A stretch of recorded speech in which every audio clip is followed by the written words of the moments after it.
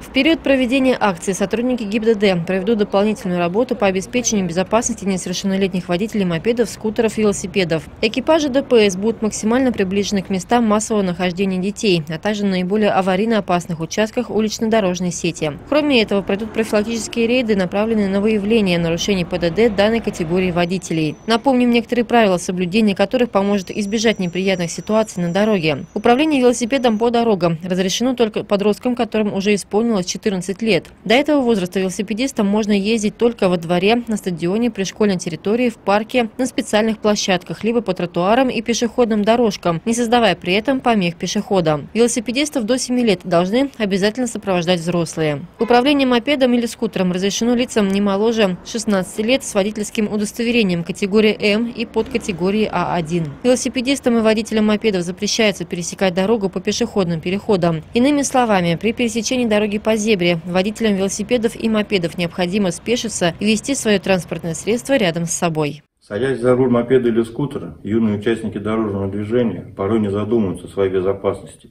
Не думают они и их родители, которые не принимают во внимание возраст детей и необходимость наличия водительского удостоверения, а также навыков управления транспортным средством. Стоит помнить, что попадав даже в незначительное ДТП, ребенок может получить серьезные травмы, а то и вовсе поплатиться жизнью. Сотрудники ГИБДД обращают внимание взрослых, что они должны контролировать и пресекать попытки несовершеннолетних самостоятельно садиться за руль. Госавтоинспекция напоминает, что за управление совершеннолетним водителем по достижении им возраста 16 лет мопедом, скутером, мотоциклом, автомобилем, не имея права управления, предусмотрена административная ответственность в виде, в виде штрафа от 5 до 15 тысяч.